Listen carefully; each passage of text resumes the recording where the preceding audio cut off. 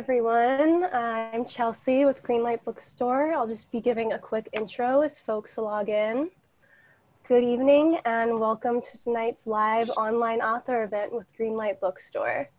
We're excited to host tonight's event with Tariq Shah presenting his new book, Whiteout Conditions.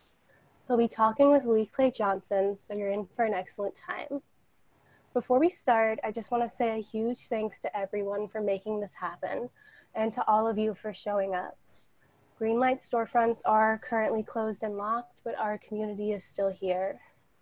Now, just a couple of housekeeping things. You can see and hear the speakers, but they cannot see or hear you, um, but they can see your name over in our attendee list and when you uh, send messages in chat or the Q&A feature.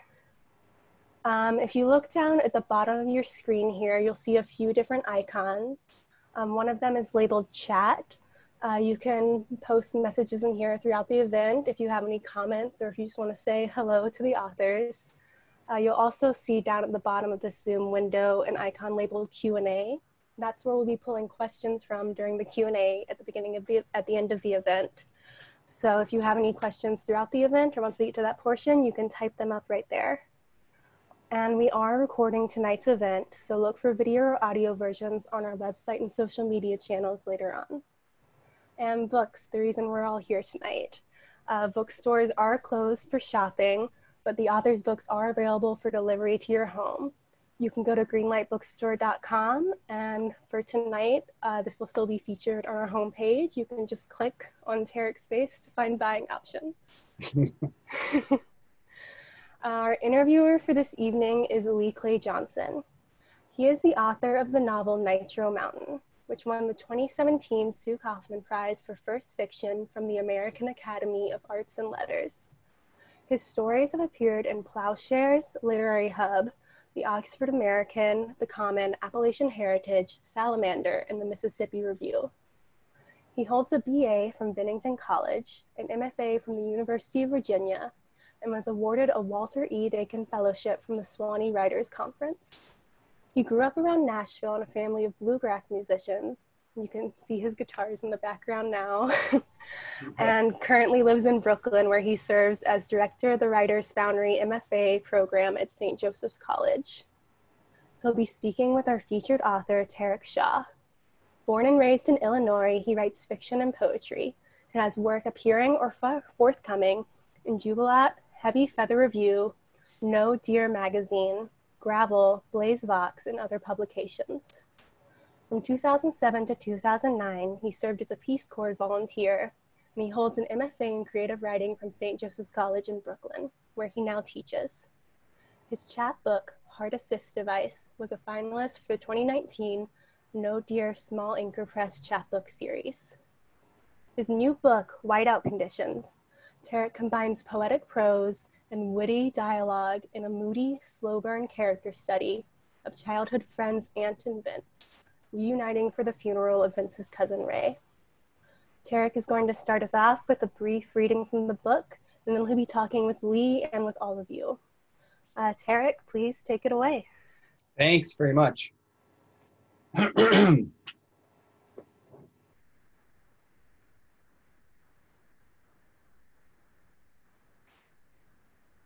With the last of my loved ones now long dead, I find funerals kind of fun. Difficult to pinpoint what it is. I'm drawn to them. Call it an article of faith. They aren't what they used to be. And I am not my old self. I'm thinking of the deep boom and hush after the pastor shuts his thick tome of hymns and the heavy groans of the pews when everyone kneels. What comes to mind are the high school boneheads loafing around the holy water stoop, too rad to grieve, or who never learned how, never learned that it is learned, like formal dinner etiquette, a gallantry in the face of certain peril. It's the secret stoner altar boy glad to swing his censer. The blown apart family uniting for a minute to ridicule the Reverend's lopsided toupee.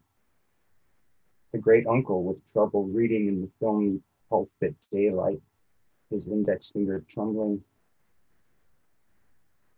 Or when I drift off during an old man's eulogy, only to get clocked in the forehead with the truth bolt, changing my vision of retired Honda dealers forever. At a certain point, the mileage accrued by hearts, like any muscle car, is just too fantastic. Once it was the apoplectic rage of a niece pacing the narthex, denied the chance to damn her uncle to hell, tell him she loved me. Sometimes it's the waterworks, other times the hearse. It was the pious haste with which Muslim grievers dug the grave, buried the doctor, how that left everyone in a swarm, a bit headspun and forgetful the dead's dead. The wholehearted embraces given me by evangelists to whom I didn't speak at all, the fervent strangers touched on there, who cared I'd come, each hug verging on a submission hold. And it's this bright secret that won't quit tap dancing behind my benign expression that I keep from them, that ensures their enthusiasm and sincerity are squandered on me. Or a jogger. Sometimes there will be a jogger who will gawk like a rubbernecker or just keep jogging, maybe go a little faster seeing my buddies in suits for the first time. A grandmother passed, remembering why she's there. Sometimes it's as simple as a song of tribute sung by someone who can't sing at all. You see people for who they are, and they don't mind being seen. And it's lovely in a way, that unabashed flawedness in the face of such heavy exposure, perhaps never to happen again all of which would likely be overlooked right choked up by the stiff in the coffin. It's everyone wondering what I am doing there. It's all the suspicious looks. Why aren't you sad like us? How they all ping right off me. Shadowing death. Handling death like a snake charmer, fishing cobras from his wicker basket wholly impervious to fang and by now safely immune to its venom. And how sometimes it's the other way around. Funerals are kind of fun. Yeah. I've cultivated a taste. It's become a kind of social pursuit. It was a kink of a kind. But now, Ray, I see his face the one in the photograph, the reporter in the field, held up to the camera with its fresh acne and his right cheek's dimple deeper than I remember, and him already taller than his mother. And I'm having trouble sustaining a positive mental attitude. Now, a python's double jointed jaws, death opens wide. But what do I know of such creatures? Thanks.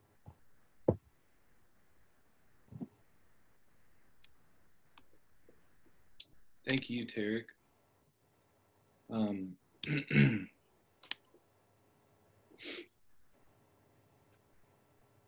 sorry, um, let me pull up some.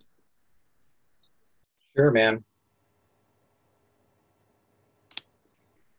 Um, that's a powerful reading, and it's from a manuscript I remember well. Um, I experienced this novel in a very early stage of its development. Um, for those out there who don't know, well, thank you for coming, first of all. It's um, despite the uh, disembodied, impersonal, virtual thing, it is also the hyper personal, right? We get to see Tariq's bedroom we also get to see my bedroom, my old bedroom. I'm stuck in Tennessee. I was down here to clean up tornado stuff and got stuck here. Um, so here we are in our bedrooms, um, looking at each other. It's cool. Anyways, for those out there who don't know, Tariq is a graduate um, of the MFA program at St. Joseph's College, uh, the Writers Foundry, right here, uh, right back there in Clinton Hill. Brooklyn. Around here, yeah. Around here, uh, and it's uh, where I teach, and I served as Tariq's uh, thesis advisor for a thesis that was titled "Drumroll Whiteout, whiteout Conditions." Um, even back then, when I first read the first draft, I was struck by the qualities that um, that are still present in it. Um, the what we just heard you read, um, kind of every the DNA of the entire novel is set right there. Um, there's a strong sense um, of place, ironically, mixed with displacement. Um, it's a kind of post suburban midwestern wasteland there is a, a, a brutal a brutal lyricism to um, to these grim circumstances that are kind of wrapped in humor and lovely language despite the despite the uh, the the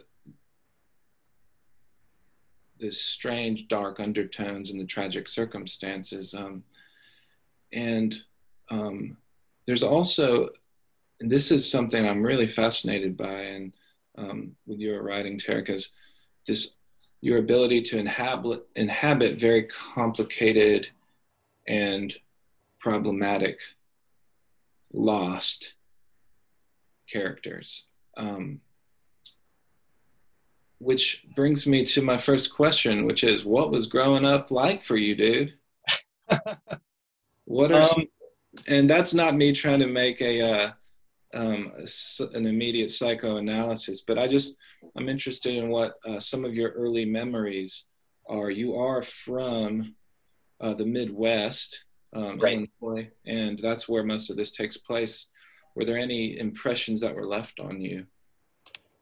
Um, yeah, you know, yeah. So I grew up in a in a town in northern Illinois um, called Lemont, um, and uh, my my upbringing was, um, I think, fairly conventional. Um, I was, you know, mid, middle class kid, went to public school, um, and uh, the big change in my life, I think, came with the death of my father when I was 15, um, and and dealing with that, um, I think, uh, informed a lot of this book, you know. Um, but um, growing up in in that part of Illinois is interesting because it, I mean, it's not like a crazy wild place like you would think, like that you get when you're when you read like Southern writers, right? Um, at least for a long time, my my impression was that it was very fairly conventional. Um, but I think in undertaking this book, I was, and also like you know, while studying under you, I came sort of for the first time to think of myself as an American writer, um, and and so I, in that tradition, I you know, uh, trying to um, talk about where I came from, and uh, and even if it is, you know, a weird kind of suburb, or you know, that is kind of sort of conventional, um, making it specific and, and talking about, um, you know, the good and bad aspects of it. That makes sense. That makes a lot of sense, and something. Can you hear me? Yeah. Okay. That makes a lot of sense, and you did that and you captured it so successfully. Um, there's you. Also, there's also something about the um, the suburban landscape that it's repetition. It's um, it's kind of placelessness. You know, you know, it succeeds most when you just have no idea where you are, right? Right and, the, and that is the uncanny um, and the the familiar within the unfamiliar. And that is a presence that I found um, in the place of your novel and also the, the character's outlook on life. Um, Thank you very much. Yeah, you know, that place to me is almost defined by by interstates, you know, and and uh, highways, and um, strip malls and parking lots and um, chain restaurants and you know things like that. Uh, and and so it was yeah it was a balance between making sentences that were really like evocative or, or artistic or lyrical and not trying to sugarcoat it or make it something that it wasn't. Um, and so that was kind of a, an interesting challenge with this with this story. That's great. You really did it. Um, there's a um, a huge part of how you succeed in doing that is as i mentioned earlier um, wrapping these regular places in lyrical language. Um, could you talk about your influences about um, well uh, yeah um, when it comes to like great sentences um, or even sort of um, writing about mundane things uh, in uh, an incredible way. I always go back to like renata adler in speedboat um, joan didion um, you know those writers um, Amy Hempel, um, her language is um, just incredible, and not because she's creating um, incredibly complicated uh, sentences or anything, but there's just some kind of a, a magic in in finding the right word um, that um, pulls the reader along and also kind of does its regular job of describing the, the, the action or or the the subject or whatever it happens to be. There's a similarity um, here um, in the with your writing and those others, um, and that is um, this is a fast, quick, uh, short novel, um, but what it lacks for in breadth and length it re- length it makes up for in depth. Um, did you can you talk about the um, the how you approached the writing of this? I mean yeah um, you know how did you get started on on it um, i know that you wrote it insanely fast and the the book moves like that as well can you talk about that and um, were there any uh, expectations you had before you started it? Thank yeah, thank you very much. Um, I totally. Um, so there are kind of two components to it. Um, before I started writing, um, like the first sentence about you know I find funerals kind of fun was just part of a, a, a paragraph that I had written in my notebook, um, and uh, and I thought it was interesting, but I was also working on another project at the time. And so I kind of just uh, let it be. Um, and as I was working on my thesis over uh, the winter break of 2017, um, I was working on a completely different project and it wasn't, it wasn't happening. Um, and so I kind of was like looking through my notebook desperately for something that kind of caught fire um, and and that sentence stuck out to me. Um, uh, but it wasn't until I was hanging out with my my niece um, and and my my brother's family's new dog and watching her kind of play roughly with this big it was a big black you know Labrador um, that the other component of the story kind of came in um, and then I decided to pursue that. Mm. Um, kind of like constructing the story, um, I kind of I had like points I needed to hit, you know. Uh, so it was like a lot of listicles, like on post-it notes, you know, um, like this step, this one, this one, and then making sure. So this, the, the book is written in sort of like, you know, smallish vignettes. Um, and, and so I was trying to devote each little vignette um, to something that was really necessary for the story. Um, and, uh, and then just proceeded that way.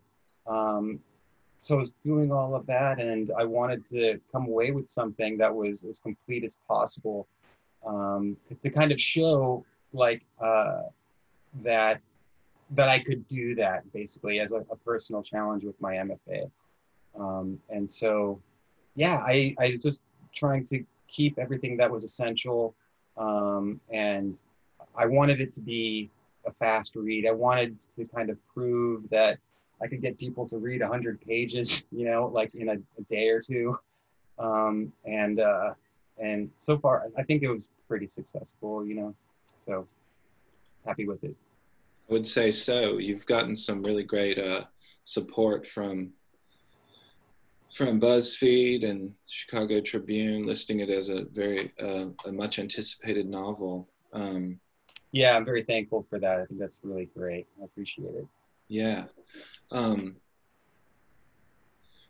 I'm really interested in the uh, your use of backstory in this brief novel. It's hard to uh, it's hard to pull off the the kind of backstory that you use here, um, and it really gets at kind of some of the roots um, of these young men.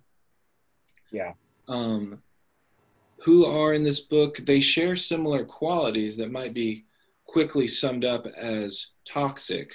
Um, why did you choose to give these particular guys the attention? Well, um, yeah, that's a good question. Um, I I was interested in kind of creating constraints for myself. Um, so I Well, before I say that, I will say that I'm kind of interested in the in the relationships between men, you know, um, and how they express themselves or, or don't express themselves, um, and and how destructive that can be, um, and and so I wanted to kind of um, display that, um, and you know, a lot of this stuff comes just from car rides I've been in with other people, you know, and and um, not that like my friends aren't psychopaths or anything like that, but um, you know, one thing that you've taught, it, or, or at least a bit of advice that you gave me was to to find places to push chaos, um, and that really resonated with me, um, and it made you know these two characters kind of come alive, and it made writing it pretty fun and, and something that I look forward to doing, uh, which is, I think, pretty responsible for why it was written so quickly. Um, you know, it was really, I was, uh, I was able to sympathize with both characters, um, despite how um, how differently they they handle their circumstances and and everything. Um, but uh, yeah, I don't know. It's just like there's something about uh, the these characters and and coming back home from a long absence. Um, I was also influenced a little bit by the the um, James Joyce um, short story in Dubliners um, about the the newspaper man and who visits his friend in Dublin and how that um, kind of and results in its own kind of train wreck. Um, and, uh, and so, yeah, it was a little bit of all of this stuff kind of just going on in my mind.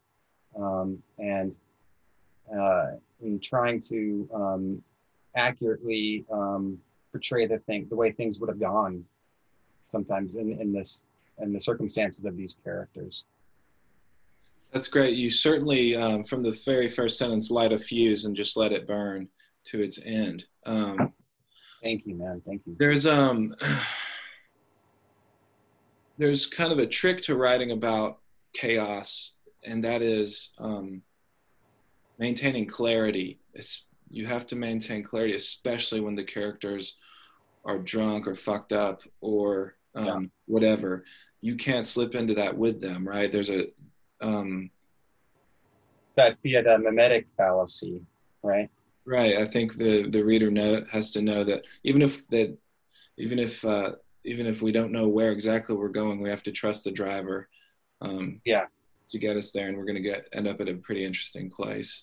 And the the uh, the ending that you where you leave us is is a riveting um, is a riveting place of brief glimpses of not uh, I don't know I don't know if redemption is too strong of a word, but I certainly felt that kind of kind of pulsing there in the life. Um, yeah, and that felt to me what is behind the uh, the narrator's um, vision and quest toward death, which is it's actually it's actually kind of purpose and meaning and even life that he's looking for because he hasn't found it anywhere else yet. So it's um it's a really moving journey that we go on.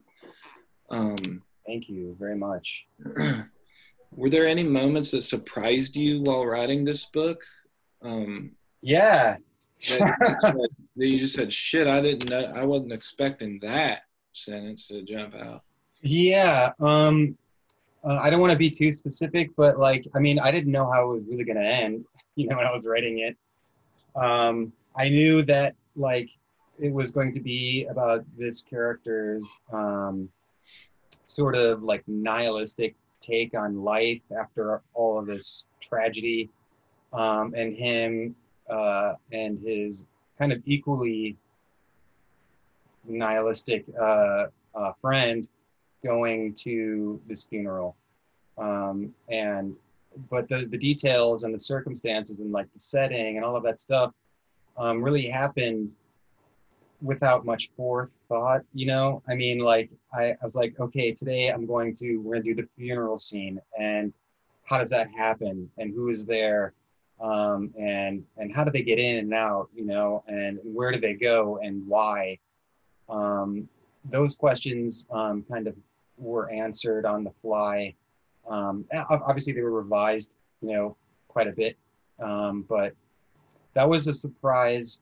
Um, yeah, eh, you know, uh, a lot of the surprise kind of happens towards the end of the of the novel. Um, as I said, I wasn't sure exactly how it was going to end or or who was going to, you know, come out on on top or whatever, or you know, if there was going to be anyone with any kind of heroic qualities or good qualities.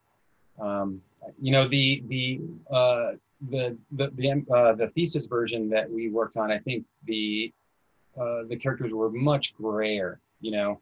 Um, and working with two dollar radio, um, we um, gave it a, the arc a little bit of a, a more, more, of an arc, basically, you know. Um, and uh, and I think that um, strengthened the novel. Um, so yeah, it was kind of a catch as catch can situation. I liked working um, on it. You know, it kind of uh, took over my life for a few months, and uh, and then uh, when I um, got picked up, uh, it it was fantastic feeling, and and then we just kind of did it over again and opened it up a little bit more. You realize you realize that by saying it, um, it took over your life for a few months. You are the you were just the immediate enemy enemy of all all the other novelists out there. I mean, uh, these not. I mean, I'm my life has been taken over for years finishing this this second novel. Um, yeah, yeah, you know, that's a fast process, man. So shame on shame on you. Uh, well, you know, I I really credit it to luck and just do like a, a really kind of um, serendipitous moment. You know, I have a bunch of short stories and, and poems that I'm working. It's like year two, you know. Um, so this one happened to just it just happened to be clear to me. Um, and but uh, I don't think I think it's it's uh, an exception definitely rather than the rule. You know, it takes hard work. It's just like continuous um, chipping away. That's great. Yes, it is a practice that we just have to go back to, and it's also at points an act of faith that we have to that the practices will be of use somehow, right? Yeah, I think that's totally right. Yeah. Um, there's some there's some really sharp dialogue um, do you have any rules for yourself when writing dialogue? Um, yeah. Um, there, I mean, there, there are sort of like mechanical things, um, where like I, I try to like if someone asks a question, um, the person that he's talking to, I, I try to have them actually respond to the question as infrequently as possible, um, and, and just find out instead of like just answering the question, giving like plot points or or just direct information to the uh, to the reader um, to use those opportunities to to deepen the character, um, to complicate things, um, to usually to make the the situation as um, gripping or um, inextricable as possible. Um, but I don't have too many rules beyond that. I mean, I, I obviously want to um, sound um, natural, um, but um, as I learned from you, you know, the way we normally speak um, doesn't really work in fiction. You know, fiction is going to um, use different means to kind of reveal the truth about uh, about people and the way they speak, and, so there's a kind of trick to that that uh, that I try and, and keep in mind when I'm writing dialogue. Some of the successes of your dialogue are um, there's subtext, and um, the characters are often kind of talking past each other a little bit, and they both think they're the center of the universe, and um, yeah, it, it, makes for a, almost a kind of third dimension behind those two two voices. Um, we yeah. can just but just by the way they speak to each other, we can almost see where they are. It's a fascinating uh, thing.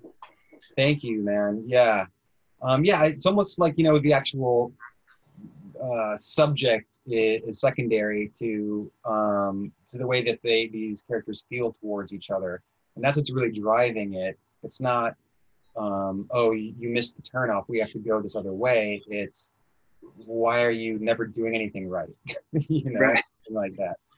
So, um, before we um, before we get into some of these questions, I can see that we have some questions in the chat and also some questions in the Q and A. So we'll get to those. One last thing about the design of this book. Um, I mentioned um, earlier about the backstory, your use of backstory. Can you speak to um,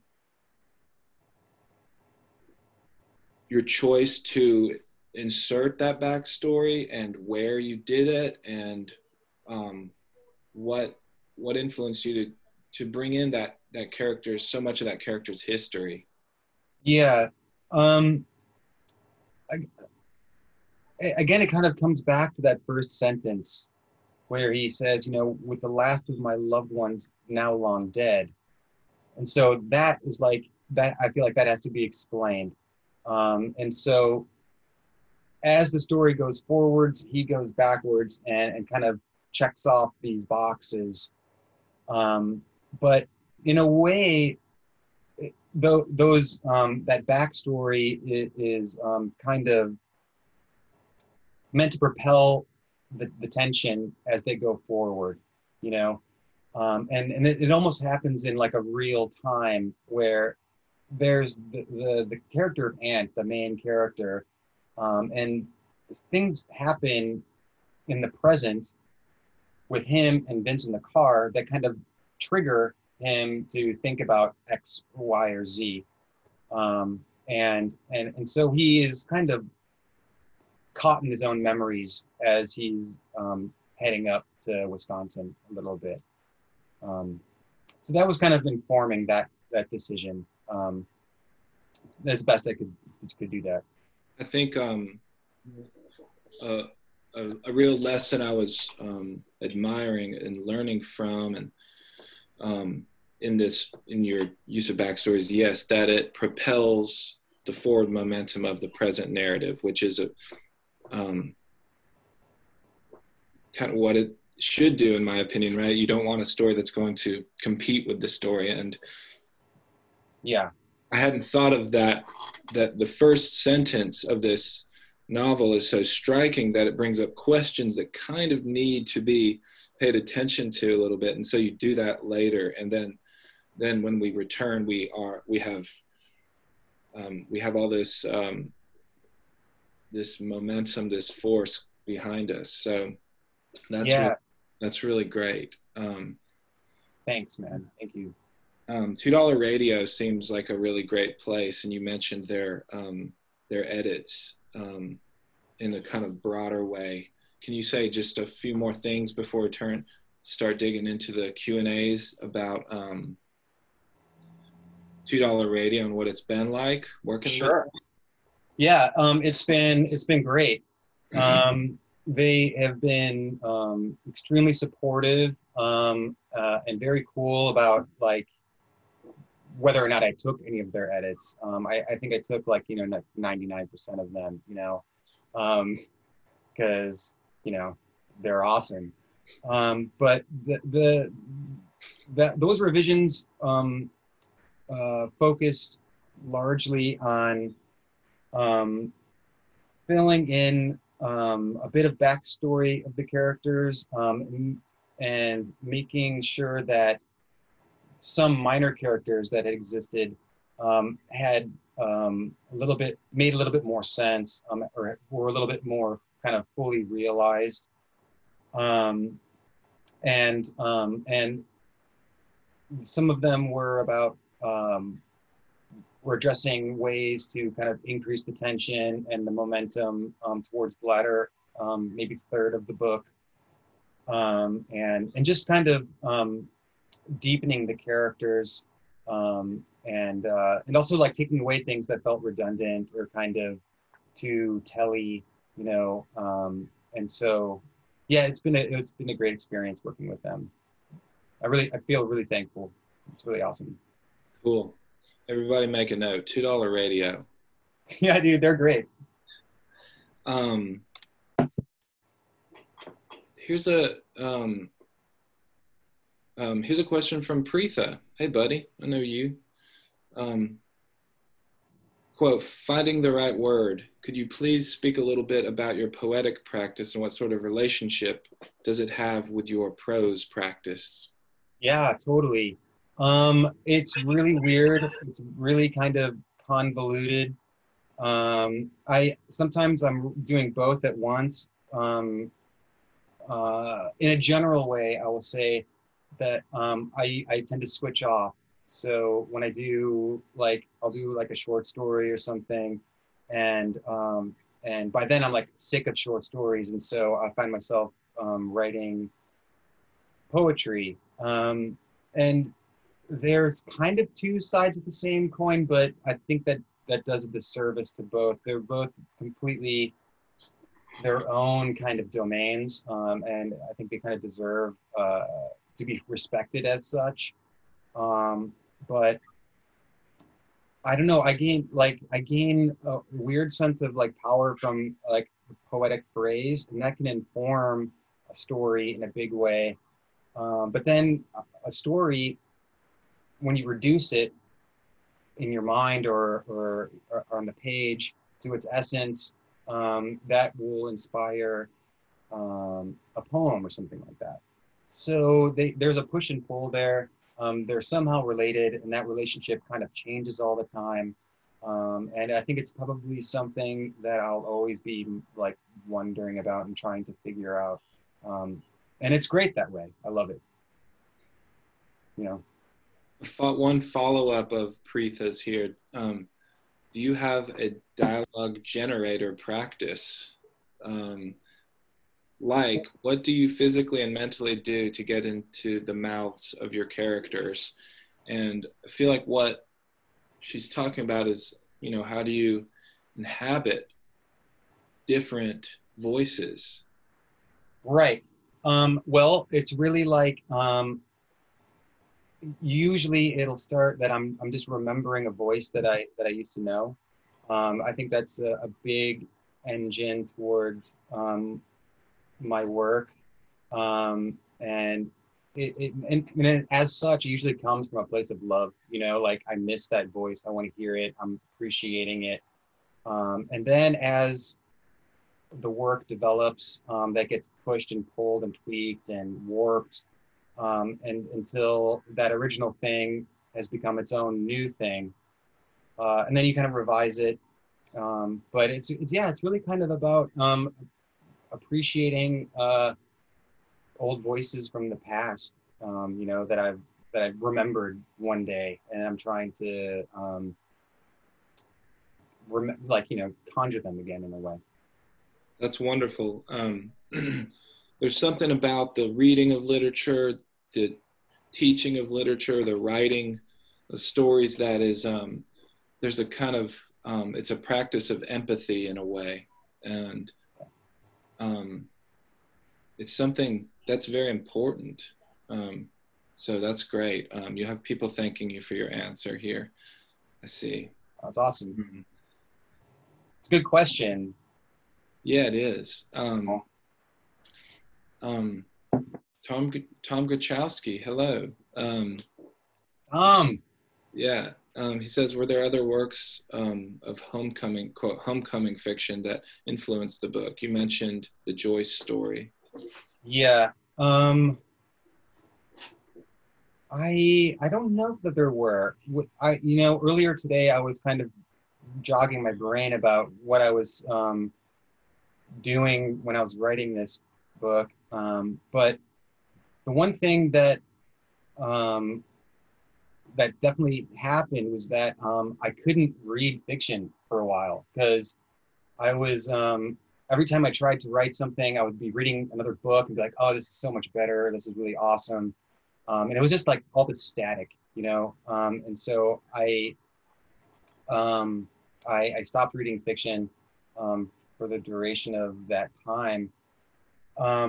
But no, I mean, I you know I'll probably remember um, the second this is over, but um, like Homecoming um, I couldn't say for sure. Sorry, Tom. um, this is a question from uh, Laura Spence Ash, and um, Laura says, I was interested that you chose to formally divide the book into two sections.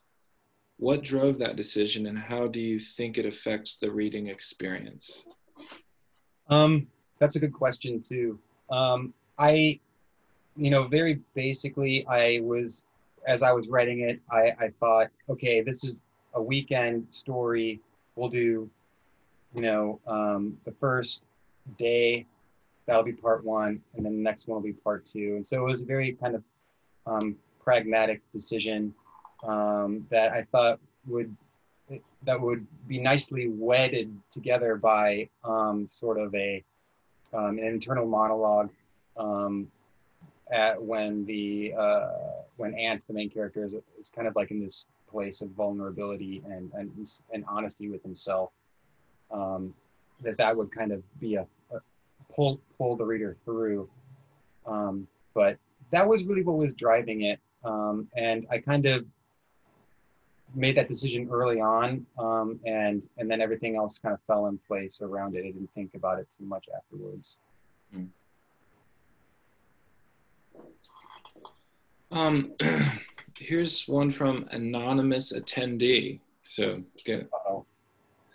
How do you feel about the concept that you can only write about that which you know?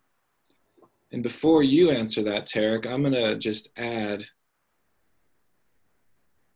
that I personally it's a that's a tricky t- that's a tricky question because I don't I don't know what I know until yeah. I start, until I start writing it.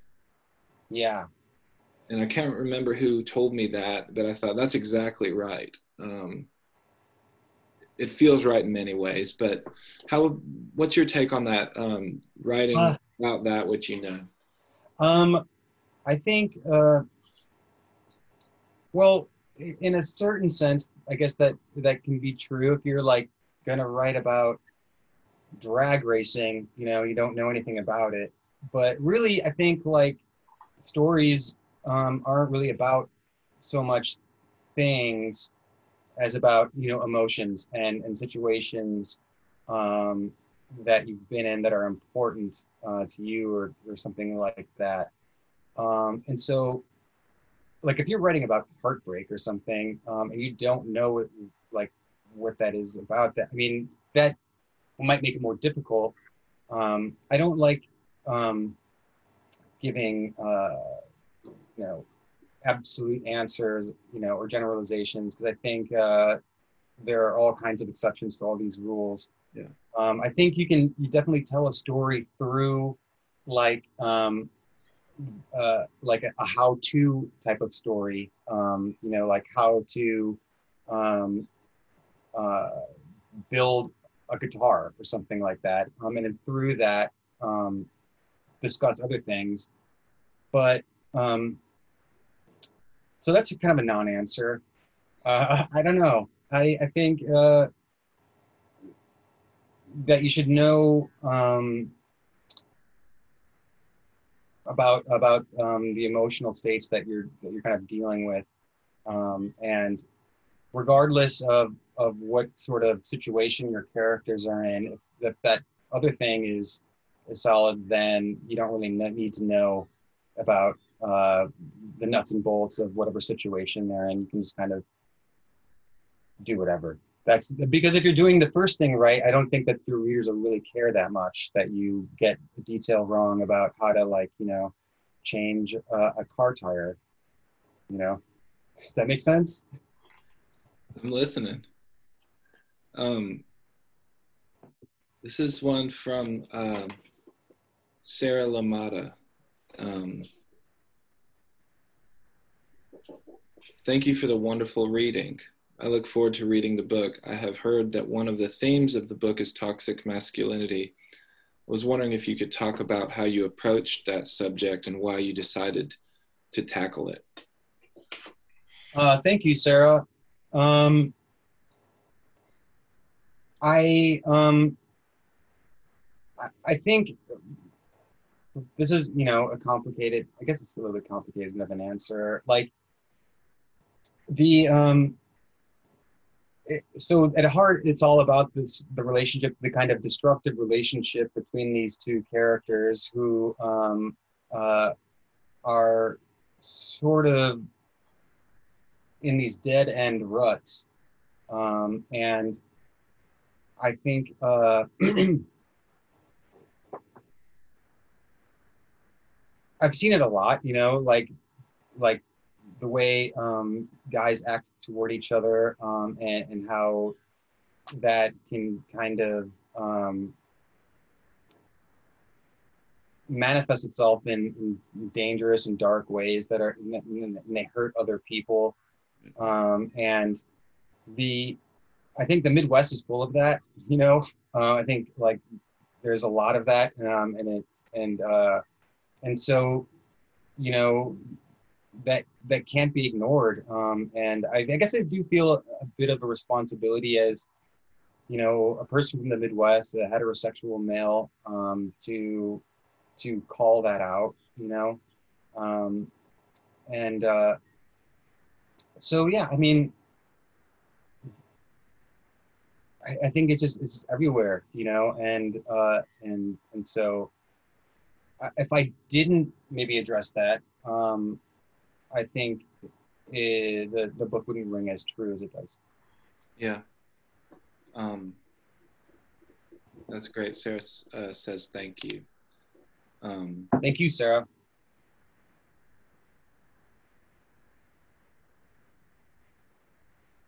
Um, from Tommy Simmons. What up, Tariq?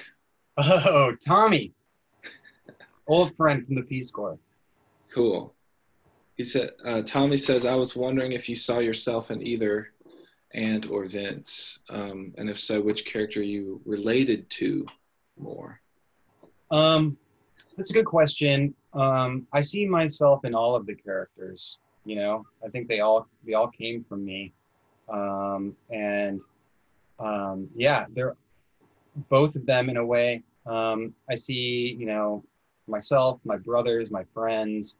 Um, it's all kind of part of that, um, and uh, and so it's definitely none of those those characters aren't like none of the characters in the book, I should say, are like um, this is this one guy. You know, um, it's all kind of a mishmash of of things that I've kind of cherry picked um, in order to make the the thing work.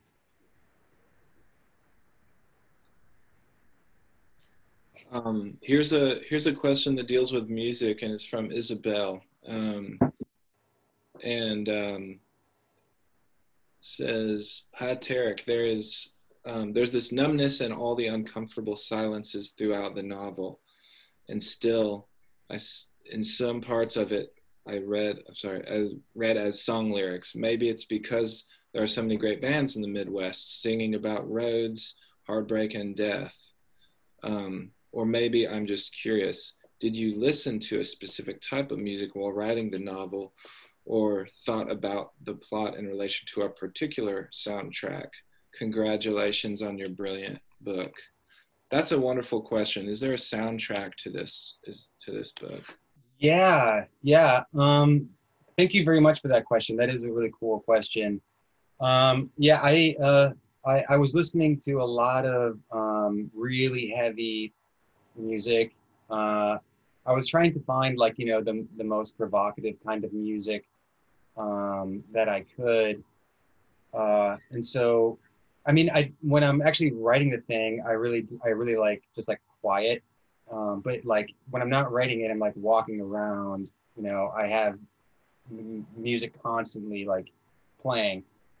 So like a lot of you know drone metal bands, doom metal bands like sludge and, um, and noise bands. Um, there's a really good band from Detroit called Wolf Eyes. I listen to them a lot. Um, um, out west, um, I think either Seattle or Portland, this band called Sunn. I listen to them a lot. The Jesus Lizard, you know, other bands, you know, like heavy bands that um, I think that that just kind of conjure up the bleak landscape of Chicago um, and, and, you know, like driving in a shitty car, you know, for hours. Um, and, and also kind of uh, the stuff that maybe these characters would listen to um, and, and, uh, and sort of zone out to. Um, and uh, so, yeah, those, those kinds of bands. I listen to the music. Yep. Cool. Um, I feel like a lot of those bands um, that you're mentioning definitely have um, a sound that is, you know, um, kind of made of, um, you know, heavy metallic materials, industrial, Yeah. um, smoky, bleak settings, and that's that's the tone of this this book for sure. Thank you. Yeah, you know, like when I think of Chicago in winter, you know, all I think of are just like, you know, the highway guardrails that are just like caked with grimy snow, you know, um, and all of that. And it gets on everything. And, you know, there are definitely um, beautiful parts of Illinois um, and everything. Uh, but, and, and there are, you know, a thousand upsides to life in Chicagoland. Um, but as far as this book is concerned and these characters, yeah, that metallic sound, that grating kind of, um, yeah, that'll give you, you know, nosebleed kind of sound um, were things that I was looking for. Um, this is a question from Monica Labadia. Um, hey Monica, what has it been like releasing a book amid the quarantine virus? Um, has it affected anything aside from giving talks on Zoom like tonight? Good, good question. I don't know if y'all heard it, but I'm I'm stuck at my stuck in Tennessee, at my parents' house, and it's a real small house. And my dad is a banjo player, and he was giving banjo lessons. I don't know if you could hear banjo coming out, but it's like This is certainly coming straight from Middle Tennessee right now. So that's what it what but what has the uh, what has it been like um, this is certainly not what you expected your book release to be um, like. right no yeah it's weird um uh i'm i'm still very thankful to be be given the opportunity to do um events like these um but you know i think i mean yeah it's weird everything is weird right now you know uh like i think our re- entire relationship to the outside world has changed. Know, it happened like super quick. Um, so, yeah, it's weird. Um, it, it could be a lot worse, you know. Um, so I'm, I'm thankful that uh, you know I'm healthy and and still able to do this stuff. Um, in terms of work, it, like it's uh, it's a little bit harder. My roommate as well is a uh, musician in a band, and, and so um, you know it it, yeah, it, it's a different. Um, but it's you know it's, there's a learning curve and we're all learning it, so we'll be fine. You know, hopefully. Well, thank you, thank you for that promise, Tariq.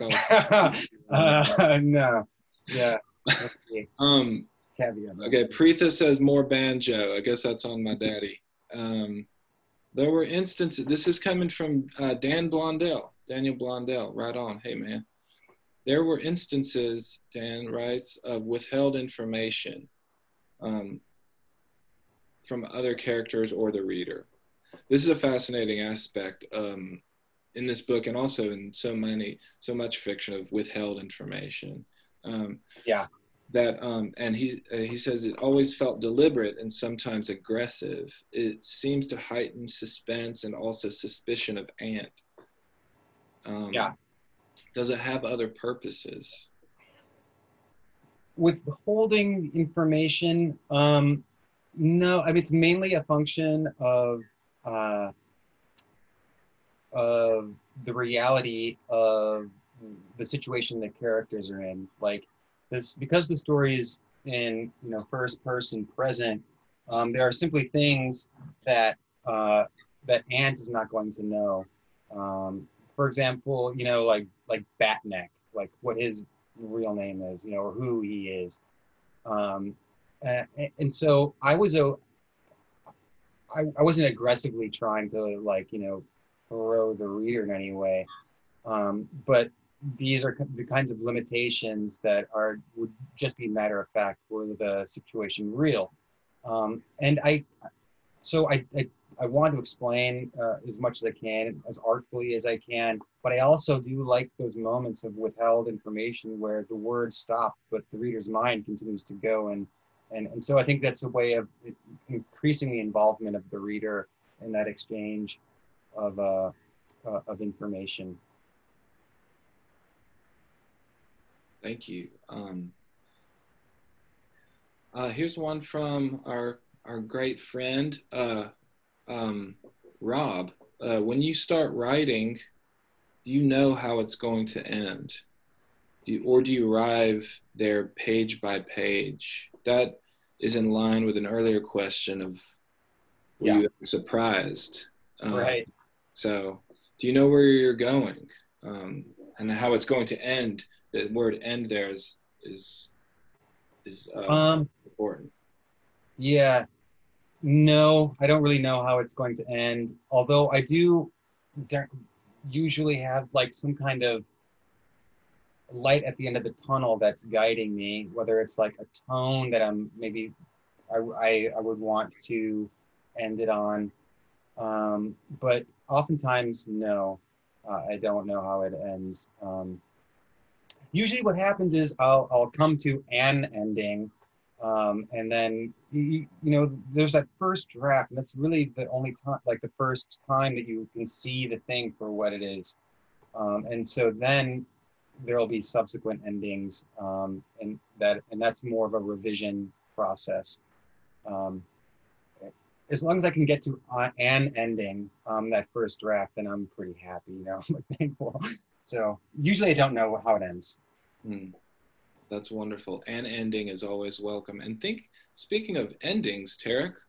Oh, is it time? look at that old clock ticking ticking away. Um, what an amazing uh, conversation it has been. We are going until 7:30, right? Or we go? What was the? Eight, no, yeah, I think eight thirty. Well, seven thirty your time. Yeah. Oh yeah, 8:30. Okay, right. right. Hey, Chelsea. Um, so, but um, you know, such an important thing to be connecting with each other and to everyone that came out for this. Um, you know, despite how we can feel sometimes during such unsettling, unbelievable times, I, I believe that literature and um, writing excel ultimately in times like this. And um, they're built to last and help us endure and even maybe have some fun. Um, I agree, man. In a thrill. So, um, thank you to you, Tariq, and um, an alum of our writing community, to the current students that are hanging out there and the, uh, the virtual world to some of our prospective and incoming students who are talking. Um, when, uh, when they all let us out of our cages, let's meet up on the street corner and raise hell. Yeah, it sounds great. Cool. Um, Lee, thank you so much for this. I really appreciate it. And to everyone that has um, participated or watched, thank you very much. Um, you are the best, and I couldn't do any of this without you. Um, and also thank you, uh, Chelsea and Greenlight Books for um, helping host this and, and St. Joseph's College as well. Um, I can't thank you guys enough. Yeah, thank you so much, Tariq and Lee, for this wonderful conversation. And again, thank you to everyone who showed up tonight. A reminder that you can buy Tariq's book, Whiteout Conditions, at greenlightbookstore.com. And this recording will be posted on the website and other social channels later if you missed any part of it. Have a good night, everybody. Good night. Thank you.